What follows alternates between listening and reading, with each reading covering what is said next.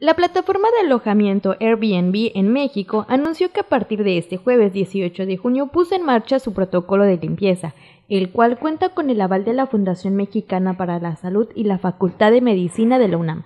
El protocolo incluye información específica en torno a la prevención del COVID-19, el uso de protección personal como caretas y guantes para los anfitriones, así como una lista de productos desinfectantes aprobados. También se requiere un periodo de 24 horas para ingresar al alojamiento como medida de precaución recomendada por los Centros para el Control y la Prevención de Enfermedades. A principios de junio, Airbnb dio a conocer la actualización de sus medidas sanitarias a nivel global mismas que plantean los procesos de limpieza a seguir en cinco pasos. Preparar el equipo y el espacio para la limpieza. Limpiar todas las superficies retirando el polvo y cualquier rastro de suciedad. Sanitizar todas las zonas de contacto frecuente, los electrodomésticos y los aparatos electrónicos. Verificar que el espacio se haya limpiado y sanitizado a conciencia. Reponer los productos que se hayan acabado y dejar todo listo para el próximo huésped.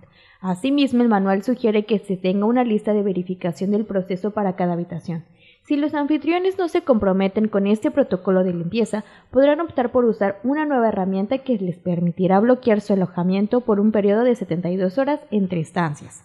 Con imágenes de Joel Polo informó para Notivisión Silvia Fernández.